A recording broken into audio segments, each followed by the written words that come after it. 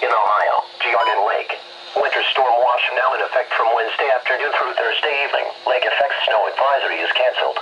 The National Weather Service in Cleveland has canceled the lake effect snow advisory. Accumulations, 6 to 8 inches of snow are possible.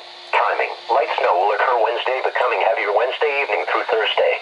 Winds, north to northeast winds will increase to 15 to 25 miles per hour with gusts to 35 miles per hour. Impacts, snow combined with the gusty winds could impact travel across the region. A winter storm watch means that heavy snow is possible.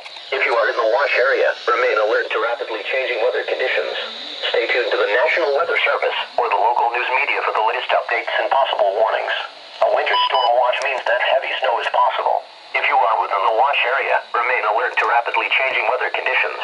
Stay tuned to the National Weather Service or the local news media for the latest updates and possible warnings.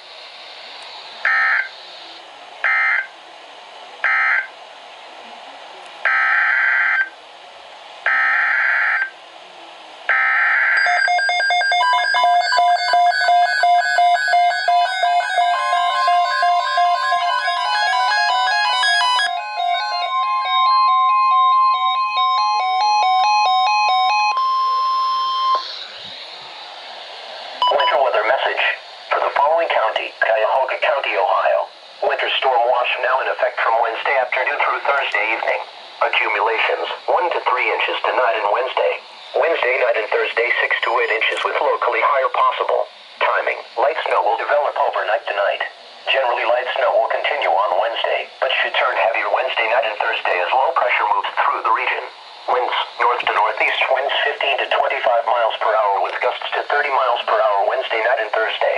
Impacts. Travel will be impacted Wednesday through Thursday. A winter storm watch means that heavy snow is possible. If you are in the watch area, remain alert to rapidly changing weather conditions. Stay tuned to the National Weather Service or the local news media for the latest updates and possible warnings.